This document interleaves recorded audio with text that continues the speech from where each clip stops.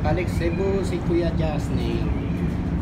After two days of Cebu trip.